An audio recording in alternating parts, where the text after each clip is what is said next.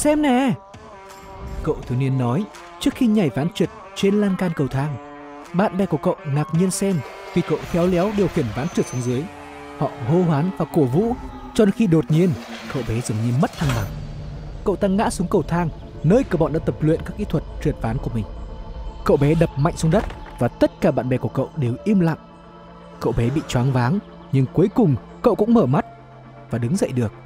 Nhưng không một ai trong số bạn bè của cậu có thể làm được gì ngoại trừ việc nhìn chằm chằm.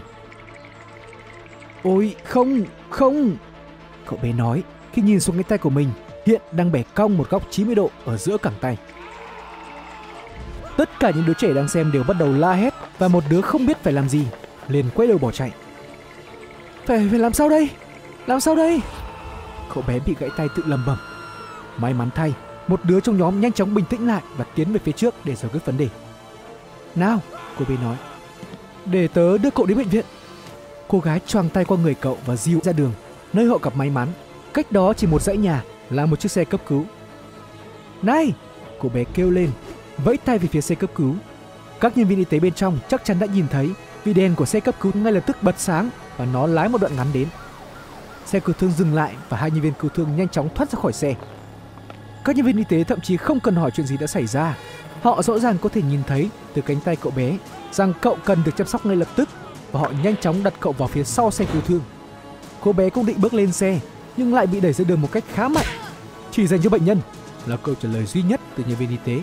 Anh ta đẩy cô bé trước khi anh ta đóng sập cửa lại. Cô gái nhìn thoáng qua khuôn mặt sợ hãi của bạn mình qua cửa sổ khi xe cấp cứu tăng tốc.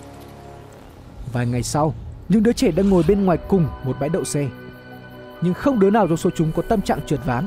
Tất cả những gì chúng có thể nghĩ đến là người bạn đã mất tích của chúng. Cả cha mẹ cậu bé và cảnh sát đều không biết chuyện gì đã xảy ra với cậu bé, hoặc cậu bé đã đi đâu. Không có hồ sơ nào tại bất kỳ bệnh viện nào về việc cậu từng được đưa đến đó. Cũng như không có bất kỳ bằng chứng nào về việc chiếc xe cứu thương đặc biệt này đã từng tồn tại.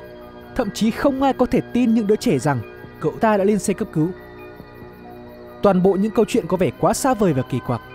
Nhưng bọn trẻ biết chúng đã thấy gì. Khi chúng thảo luận về các sự kiện lần thứ 100 hoặc có lẽ là lần thứ 1000 rồi. Đứa nhỏ nhất trong nhóm đột nhiên đứng lên và chỉ tay. Nó kìa! Những đứa còn lại trong nhóm nhìn theo hướng cậu ta ra hiệu và thấy điều tương tự. Đó là xe cứu thương. Không ai trong số chúng biết phải làm gì khi chiếc xe chạy ngang qua. Lần này không có đèn chiếu sáng và nó dừng lại cách nơi chúng thấy nó lần đầu một đoạn đường. Chúng quan sát khi hai nhân viên y tế thoát ra khỏi xe và đi vòng ra phía sau.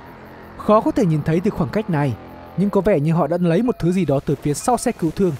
Thứ mà cả hai người phải cùng lên trước khi thả xuống vỉa hè cạnh một thùng rác. Những đứa trẻ đứng nhìn các nhân viên y tế quay trở lại xe cấp cứu và lái xe đi, biến mất nhanh chóng như khi nó xuất hiện. Sau một lúc bàng hoàng, tất cả đồng loạt chạy đến nơi xe cấp cứu dừng lại. Chúng dừng lại ngay trước thùng rác. Không ai trong số chúng có thể làm bất cứ điều gì ngoại trừ nhìn chăm chăm cho đến khi tất cả chúng đồng thanh la hết. Một trong những đứa trẻ quay lại và ngay lập tức bỏ chạy. Và chúng có lý do chính đáng để hét lên. Bởi vì trước mặt chúng là người bạn mất tích. Cánh tay của cậu không còn bị gãy nữa. Dường như đã được chữa lành bằng cách nào đó chỉ trong vài ngày. Nhưng nó cũng không còn gắn vào vai cậu nữa. Cậu bé mở mắt khi bạn bè hét lên và nhìn xuống thì thấy tay và chân của cậu đã được gắn lại ở một chỗ mới, nhô ra khỏi lưng. Cậu đứng bằng bốn chân, mặt nhìn lên trời như một sinh vật kỳ dị nào đó. Những gì đã xảy ra với cậu bé này thật bi thảm.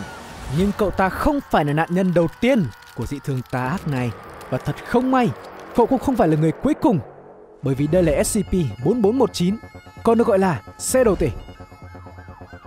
SCP-4419 dường như là một phương tiện bình thường, giống như một chiếc xe cứu thương tiêu chuẩn, mặc dù kiểu dáng chính xác sẽ khác nhau giữa những lần xuất hiện. Chiếc xe cứu thương dị thường này sẽ xuất hiện ở những địa điểm sắp diễn ra một trường hợp cần cấp cứu y tế nào đó. Vẫn chưa rõ làm cách nào SCP-4419 có thể dự đoán được những sự kiện này sẽ diễn ra ở đâu và khi nào cũng như không hiểu bằng cách nào đó mà nó luôn có hình dạng một chiếc xe cứu thương, giống với xe cứu thương thường thấy ở khu vực đó. Một khi sự kiện y tế xảy ra, cho dù đó là một vết thương nhỏ như bong gân hay vết thương nghiêm trọng do đạn bắn, SCP-4419 sẽ nhanh chóng tiếp cận người bị thương. Hai người có ngoại hình giống người và mặc đồng phục y tế, cũng giống như xe cứu thương. Họ luôn có trang phục giống như các nhân viên y tế trong khu vực sẽ ra khỏi xe. Sau đó, họ sẽ cố định nạn nhân bằng cáng nếu cần và đặt họ vào phía sau xe. Trong khi những cá thể xuất hiện từ SCP-4419 Phần lớn sẽ hành động như thể họ là những chuyên gia y tế bình thường. Họ sẽ kiên quyết chống lại bất kỳ nỗ lực nào cản trở họ trong nhiệm vụ mang người bị thương lên xe, cũng như ngăn cản bất kỳ ai khác ngoại trừ mục tiêu của họ vào được phía sau xe cứu thương SCP-4419, dù có phải sử dụng vũ lực. Ngay sau khi các nhân viên y tế xuất hiện, cố gắng giữ chặt nạn nhân ở phía sau xe cứu thương, nó sẽ nhanh chóng rời khỏi khu vực đó với tốc độ cao. Và nghiên cứu đã chỉ ra rằng, ngay sau khi nó ra khỏi tầm quan sát, SCP-4419 sẽ biến mất cùng với bất kỳ ai ở bên trong. Nhưng đây chưa phải là dấu chấm hết cho những nạn nhân của nó. Từ 2 đến 7 ngày sau, xe cấp cứu SCP-4419 sẽ đột ngột xuất hiện trở lại tại cùng khu vực nơi nó đón nạn nhân. Những người tương tự sẽ ra khỏi xe cứu thương và để nạn nhân ở một nơi nào đó gần đó trước khi quay trở lại xe và rời khỏi hiện trường. Nạn nhân bị bỏ lại sẽ luôn phải chịu đựng những gì chỉ có thể được mô tả là những thay đổi cơ thể kỳ dị. Thương tích của họ cực kỳ nghiêm trọng, đến mức trong hầu hết các trường hợp, nó đáng lẽ phải dẫn đến cái chết của nạn nhân nhưng bằng cách nào đó, họ vẫn sống mặc dù hình thức chỉnh sửa sẽ khác nhau tùy từng nạn nhân, nhưng dường như có một số mối tương quan giữa tình trạng khẩn cấp y tế ban đầu và kết quả tổ chức SCP đã ghi lại một số trường hợp tiếp xúc với SCP-4419 từ đầu những năm 1980. Một số ví dụ đáng chú ý bao gồm một trường hợp năm 1983, trong đó một người đi bộ đang băng qua đường đã bị một chiếc xe ô tô tông trúng, khiến anh ta bị gãy chân SCP-4419 đã có mặt tại chỗ và nhanh chóng giúp người đàn ông vào phía sau xe. Khi anh ta được trả lại vài ngày sau đó, tất cả các chi của anh ta đã được gắn lại ngay trước phần bụng.